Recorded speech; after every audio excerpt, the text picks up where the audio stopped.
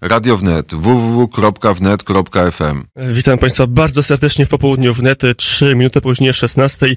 Witam Państwa Łukasz Jankowski, walczący w nierównej walce z przeziębieniem, no ale cóż, tak długi karnawał, ostatki e, mogą nawet zdrowego człowieka wpędzić do e, grobu, a nawet w chorobę, e, ale... Ja to wróży, panie redaktorze, bo jeśli do ostatków pan się nie wyleczył, to w poście już raczej szans nie ma. Nie no, już Bogu dzięki, jutro środa, środa popielcowa, liczę, że będzie można spokojnie pokutować za grzechy karnawału i zdrowie trochę podratować, a gość, który siedzi w studiu już się odezwał, Marek Sawicki, poseł PSL, kiedyś minister rolnictwa, a teraz także wiceprzewodniczący Rady Naczelnej Polskiego Stronnictwa Ludowego. Dzień dobry. Dzień dobry, witam serdecznie. Wracamy, bo już pewnie się Państwo stęsknili do wywiadów politycznych w popołudniu.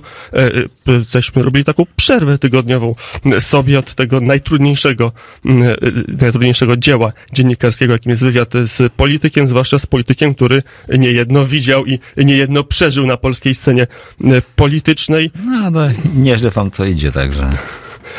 No dobrze, to teraz przejdźmy do konkretów dla PSL-u. Czym jest wstąpienie do koalicji obywatelskiej?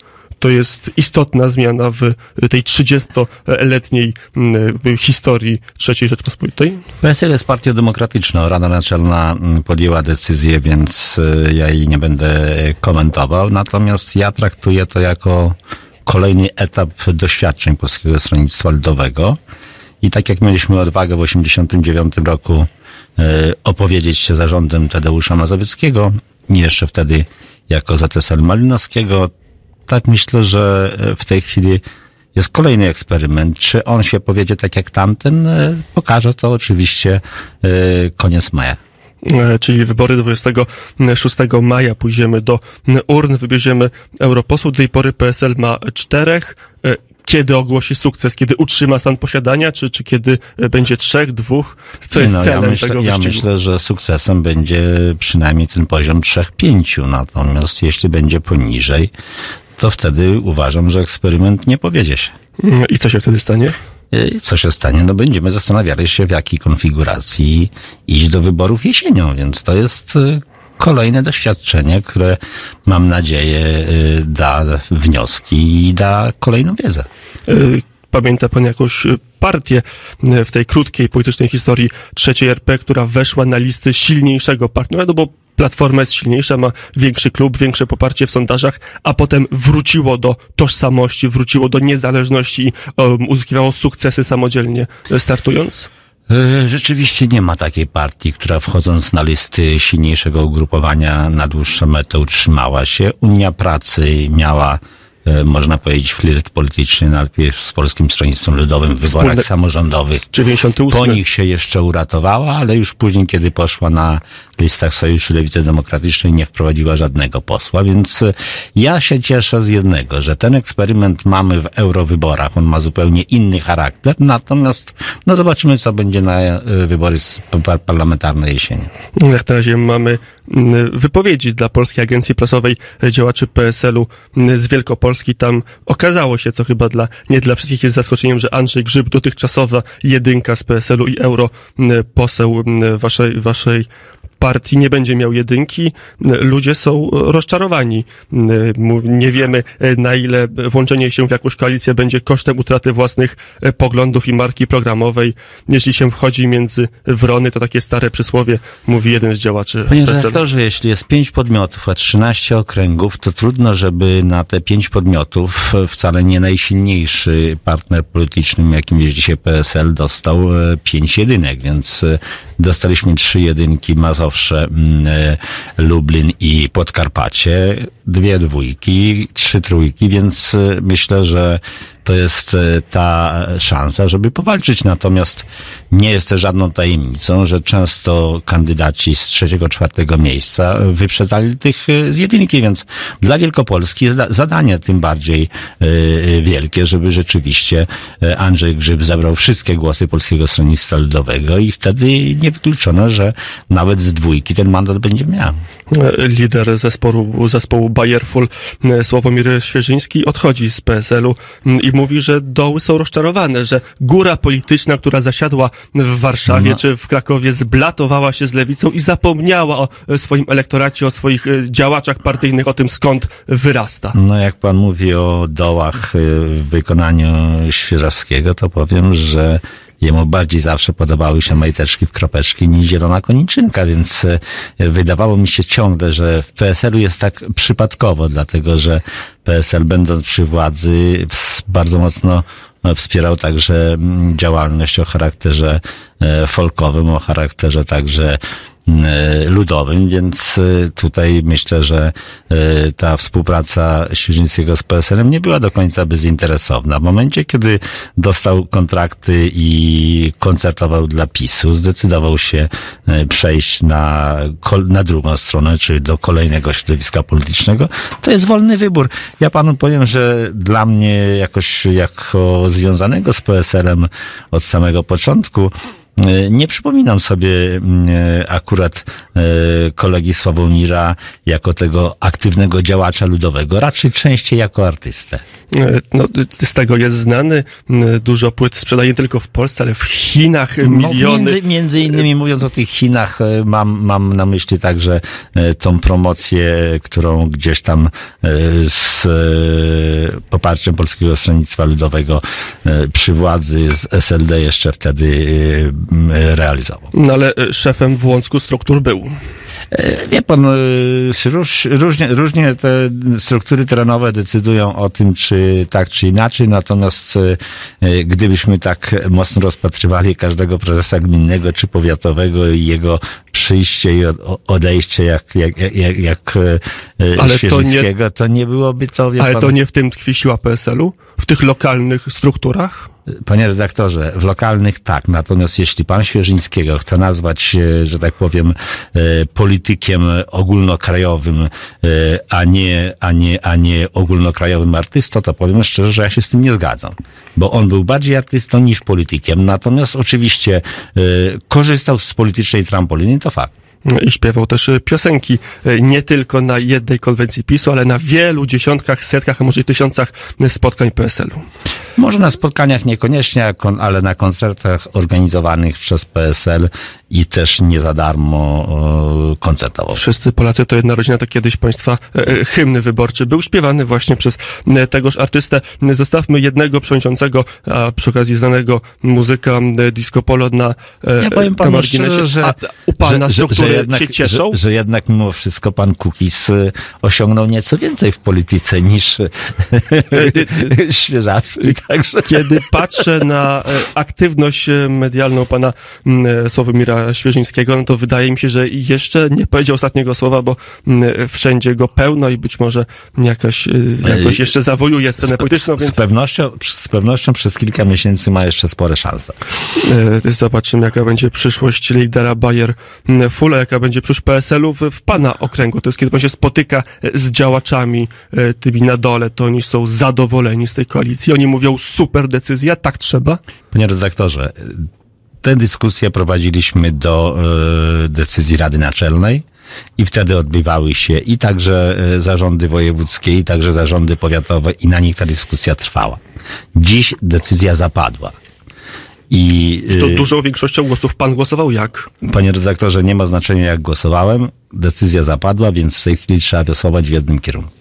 Nie, no, myślę, że dla y, historii ruchu ludowego ma to znaczenie, bo jeżeli się okaże, że państwo żadnego mandatu nie zdobędziecie, no to wtedy wiadomo będzie, kto dobrze czytał politykę, a kto czytał politykę niedobrze. Więc będziemy o tym dyskutowali w czerwcu, a nie teraz.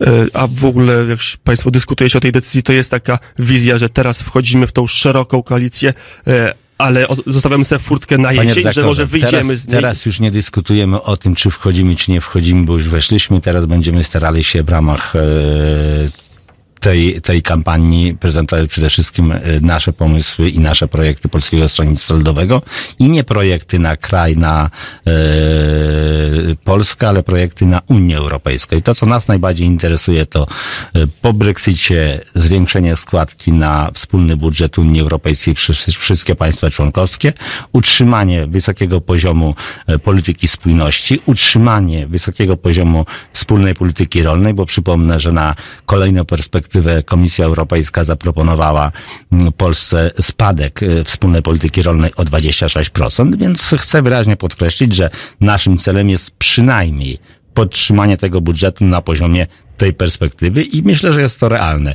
I po to między innymi nasi kandydaci idą do Parlamentu Europejskiego. E, kiedy kilka tygodni temu na pana miejscu siedział minister Kwieciński, mówił dokładnie to samo, może państwo e, złego koalicjanta wybraliście. Panie redaktorze, problem polega na tym, że pan Kwieciński mówił, ale pan minister Jurgiel, kiedy dostał po mnie w spadku 35 milionów złotych na wsparcie rolników e, poszkodowanych przez ASF. E, z tego wsparcia wykorzystał niespełna 3,5 miliona. Kiedy mówili o podwojeniu dopłat, do tej pory nie ma żadnego konkretnego wniosku na podwojenie dopłat, a jest zapowiedź obniżenia o 1 czwartą, więc e, słowa nie wystarczą. Trzeba jeszcze, żeby były czyny. No, jak na razie mamy słowa w samej A my koalicji. mamy już doświadczenia negocjowania dwóch budżetów. Raz przez Jarosława Kalinowskiego, drugi raz przez Stanisława Kalembę i są to budżety, ten drugi też większy niż ten negocjowany wcześniej przez e, PiS w latach 2005-2007. Też warto pamiętać, że kiedy patrzy się na dyskusję ogólnoeuropejską, to jeszcze e, rok temu mówiono, że być może polityka spójności w ogóle zniknie, więc No. sam fakt, że ona jest i to niewiele się zmienia, to jest też sukces Polski. ja przypomnę, że jeden z liderów e, e, dziś rządzącej partii, czy główny lider tej partii mówił, że wspólną politykę rolną trzeba zastąpić wspólną polityką obronną i zrezygnować z finansowania rolnictwa na rzecz e, europejskiej obronności. Mm, To na chwilę zagłębmy się w te meandry polityczne Koalicji Obywatelskiej. Nowoczesna ogłosiła swoje minimum programowe. Tam jest kilka punktów. Ja wybrałem złośliwie oczywiście e, dwa punkty e, sporne. To jest euro w Polsce e, do roku 2024. E, PSL jest za tym, żeby takie minimum przyjąć, żeby... Wielokrotnie mówiliśmy o tym, że to, że mamy złotówkę, to uratowało Polskę w kryzysie 2008-2009 i że jest to element ważny dla stabilizacji gospodarki, że w czasach kryzysu można rzeczywiście e, troszkę, e, że tak powiem, regulując kursem, utrzymać wyższy eksport i utrzymać e, tempo wzrostu gospodarczego, więc tu to jest jeszcze decyzja przedwczesna, natomiast oczywiście, jeśli będzie większość konstytucyjna do tego w jakimkolwiek polskim Sejmie po wyborach, żeby dyskutować o zmianie konstytucji, to z pewnością w ramach dyskusji o konstytucji także ten temat się znajdzie. Mm, Ale tutaj Nowoczesna mówi jednoznacznie. No dobrze, Szybko no, ale to- do euro. No, no to, to jest postulat nowoczesny, a nie PSL-u. I to jest ich e, minimum, to jest ich ten mianownik wspólny, który ma was e, połączyć. No to jak żyć w takiej koalicji? Więc panie redaktorze, jeśli pan myśli, że akurat to jest wspólny mianownik, to pan się myli. Że Wspólny tak myśli e, pani Lubnauer, ja. No, no, każdy, widzi pan, żyjemy w wolnym kraju i każdy ma prawo do swobodnego, samodzielnego myślenia. Mnie w tej sprawie nie interesuje, co myśli Katarzyna Lubnauer. Ja mówię panu, co my myślimy w Polskim Stronnictwie Ludowym. Teraz jeszcze nie czas na dyskusję o euro w Polsce. Wrócę do tego, co mm, powiedział mm, pan e, Nosal, to jeden z waszych starostów, że jak się wchodzi między wrony, mm, takie stare przysłowie, tak powiedział dla papu, no to skoro się wchodzi między nowoczesną, która e, mówi o euro, może już nie kracze, nie bądźmy tacy złośliwi, która mówi o szybkim e, marszu do euro, no to trzeba będzie się dostosować, panie pośle. Wie pan, nie sztuką jest płynąć z prądem, bo z prądem płynie każdy i nie, nie tu słowa. Natomiast e, sztuką jest umieć płynąć pod prąd. No pytanie, czy warto płynąć w tak szerokiej koalicji, skoro, a jeszcze mamy Czas promowanie pokaże. równości. Czas pokaże. E, Podkreśla przy tym, że konieczne jest działanie na rzecz równości i ochrony mniejszości, w tym społeczności LGBT+. E, To jest kolejna, ta, ten minimalny próg programowy, które Nowoczesna chce włożyć do... Pan rozmawia z PSL-u z konserwatystą, zdecydowanym konserwatystą i pan wie doskonale, że akurat Wiem. z mojej strony pan wsparcia dla tej koncepcji pani Lubdauer nie znajdzie. Przecież mówiłem, że złośliwie wybrałem te punkty, No panie i bardzo pośle. dobrze, no więc ja nie odpowiadam złośliwie, tylko szczerze.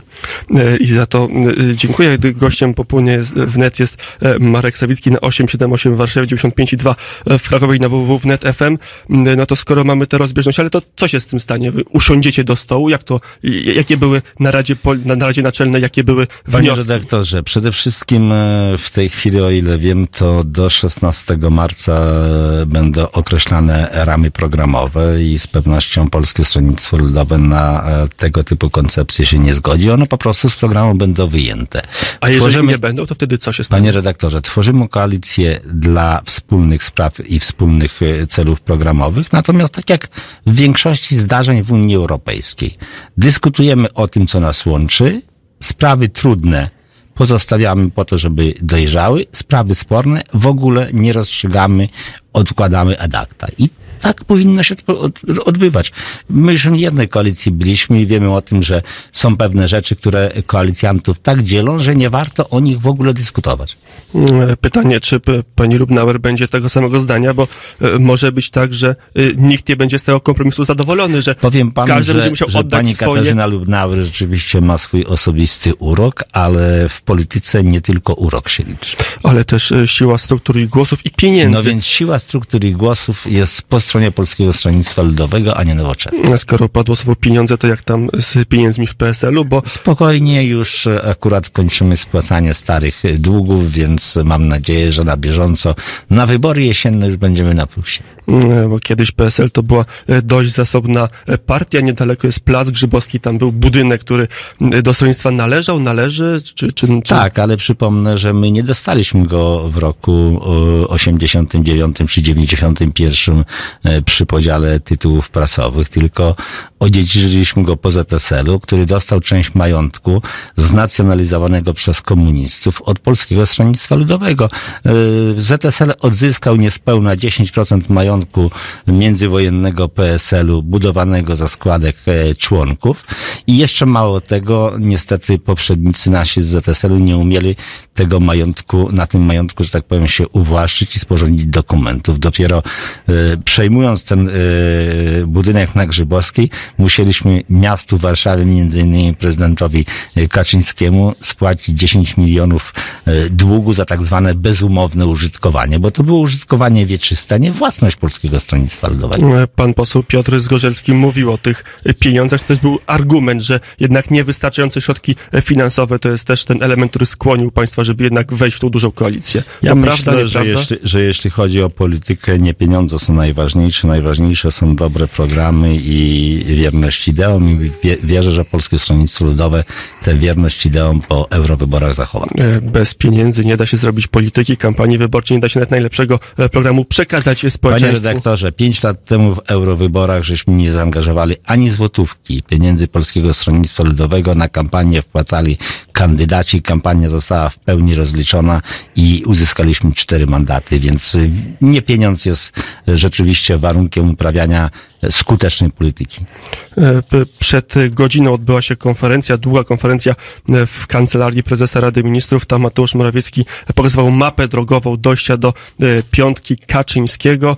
Kiedy patrzę na te propozycje i na państwa program, to w zasadzie są te same propozycje bo w Państwa programie są i transport w każdej gminie, o czym... My się, my się cieszymy, panie redaktorze, że Prawo i PiS, Prawo i Sprawiedliwość e, korzysta z podpowiedzi Polskiego Stronnictwa Ludowego. Nie jesteśmy opozycją totalną, tak jak wspieraliśmy 500+, tak sugerowaliśmy, że powinno być niekoniecznie dla pierwszego dziecka, ale z pewnością przy pierwszym dziecku, wtedy kiedy była zasada tego progu dochodowego, należało wprowadzić złotówkę za złotówkę. Dziś jest propozycja na pierwsze dziecko. Dziś też y, przypominamy Prawu i Sprawiedliwości, że w przypadku programu Mama 4 Plus, tej emerytury dla mamy, która nie wypracowała sobie, y, że tak powiem, podstaw emerytalnych. Też w waszym programie że, jest taki Że chcemy, chcemy, żeby rzeczywiście dla matek, które wypracowały sobie emeryturę, wychowały troje i więcej dzieci za każde dziecko też był dodatek, bo one także ponosiły trud dla przyszłych naszych pokoleń. Mm, program to szereg punktów, wszystkich nie omówimy, bo ich jest kilkadziesiąt, może i więcej, mm, ale jeden szczególnie mnie zaintrygował. Y, program Praca dla Młodych. Mm, z programu skorzystają absolwenci szkół zawodowych, ponadgimnazjalnych i wyższych, którzy nie ukończyli 30 lat, otrzymują dwuletnią gwarancję zatrudnienia na umowę o pracę. E, co ważne, sami wybiorą swojego pracodawcę. To jest ciekawy pomysł jeżeli ja będę chciał być dyrektorem Departamentu Komunikacji w NBP, to po tej nowelizacji będę mógł być? Mówi pan o programie PiSu? Nie, mówię o państwa programie. Ja bym bardziej pytał o program dla bezrobocia na wsi, bo mało kto o tym mówi, ale mm, wbrew temu, co opinia powszechnie głosi, propaganda sukcesu, na wsi żyje około 40% osób bezrobotnych. To są ci wszyscy, którzy mając dwa hektary w mojej przedziale, w mojej ocenie przynajmniej do 15, to są mali rolnicy, którzy tak naprawdę są bezrobotnymi i, i dla nich tu programu nie widzę i nad tym programem w tej chwili pracujemy, żeby na wybory y, y, krajowe, jesienne z takim programem wyjść. Jak na razie mamy zwolnione emerytury z KRUS-u i z ZUS-u. Długo się tego nie dało zrobić. Teraz jest to też dla rolników duża pomoc, nie tych, którzy odchodzą e, z pracy na roli. Ale panie redaktorze, ja przypomnę, że jeśli chodzi o emerytury z ZUS-u i KRUS-u, to jeśli to łączenie było zawsze możliwe, niemożliwe było tylko wtedy, kiedy rolnik przechodził na tak zwaną wcześniejszą emeryturę. Ponieważ wcześniejsza emerytura została zlikwidowana, to w przypadku, w przypadku tej wcześniejszej emerytury rzeczywiście nie można było łączyć e, tego okresu ubezpieczeniowego z KRUS-u i z ZUS-u, bo to był przywilej tylko rolniczy. Dziś, kiedy nie ma już wcześniejszej emerytury, to tak jak i przedtem można oba te systemy łączyć. Na koniec tematy historyczne. 1 marca obchodziliśmy Narodowy Dzień Pamięci Żołnierzy Wyklętych. Pan ma bojowników o wolność w swojej rodzinie bezpośredniej? Ja mam. Mój dziadek i mój ojciec byli żołnierzami Narodowych Sił Zbrojnych. E, ojciec ukrywał się do 1947 roku i wie pan, to co mnie w tym wszystkim najbardziej boli dzisiaj w e, dochodzeniu do tej pamięci, przywracaniu pamięci tym żołnierzom, to to, że często uczestniczą w tym dzieci i wnukowie tych, którzy ich wtedy niestety represjonowali. Jeśli uczestniczą e, świadomie i e, robią to e, uczciwie, to chwała. Natomiast mam wrażenie, że wielu z nich uczestniczy w tym koniunkturalnie. Powiem panu tak, jadąc tutaj zastanawiałem się, bo tak e, wspominam jeszcze rozmowy z ojcem, bo dziadka niestety nie pamiętam, Rosjanie zastrzelili go 1 sierpnia 1945 roku na Uralu, ale przypominam sobie rozmowy z ojcem, ale także rozmowy, jakie prowadzili ich, yy, jego koledzy. I zastanawiam się, co dla nich było gorsze. Czy śmierć z rąk ubeków, czy represje, jakie ci ubecy wobec żyjących stosowali przez lata? E ale z drugiej strony no, trudno mieć zarzut, że ktoś y, miał dziadka, który zachował się tak, a nie inaczej. Y, może być nie, tego tylko, dumny. Tylko panie redaktorze, ktoś... ja mówię, że ja e, wszystkim, wszystkim dziękuję za przypomnienie i za oddanie czci żołnierzom wyklętym, żołnierzom polskiego podziemia powojennego. Mój dziadek i ojciec uczestniczyli w akcji Burza, uczestniczyli także chociażby w słynnej akcji podjęcia V2 w Sarnakach, osobiście obaj ze swoimi końmi, ze swoim transportem e, w tej akcji brali udział, także mam dokładny jej opis bezpośrednio jeszcze z e, opowieści taty.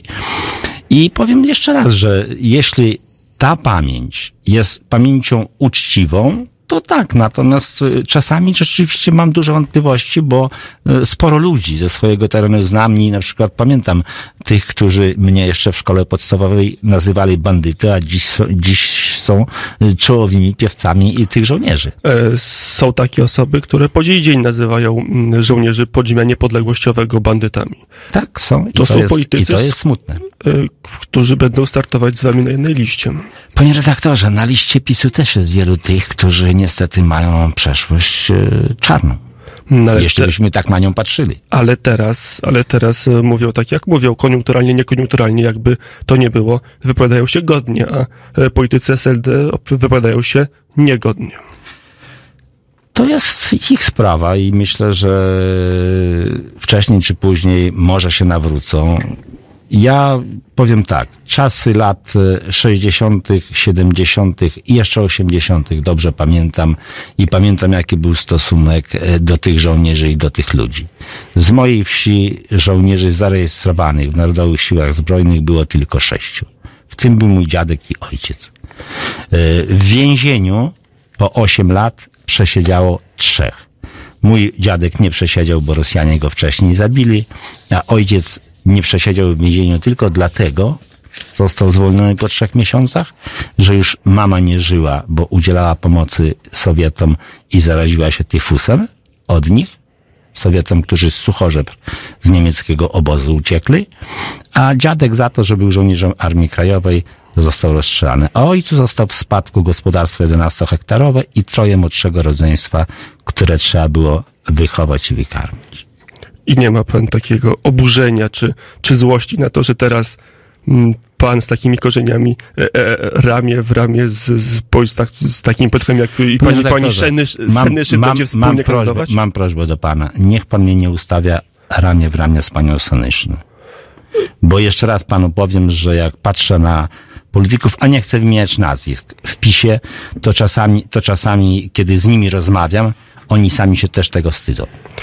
E, I to jest odruch e, dobry. E, Ostatnie pytanie też historyczne o reparacje dla ludności żydowskiej. Odmienia bezspadkowego pana deklaracja wypłacić, nie wypłacić? Panie redaktorze, ta sprawa została załatwiona w latach 60. Zobowiązanie w sprawie wypłacania tych reparacji przyjęli na siebie Amerykanie, więc niech je realizują, bo to nie kto inni jak Anglicy i Amerykanie skazali mojego ojca na ponowne pójście do lasu. Oni wierzyli, ci żołnierze, nie oficerowie, ale żołnierze niższej rangi, oni wierzyli w 44-5 roku, że będzie trzecia wojna światowa i że Polska uzyska pełną niepodległość. Inaczej do lasu by nie poszli. Oni czekali wolnej ojczyzny, a dlatego nie była wolna, że między innymi i Churchill, i Roosevelt pogodzili się z tym, co zaproponował Stalin. Więc jeśli ktoś ma dzisiaj płacić te roszczenia, niech płacą Amerykanie.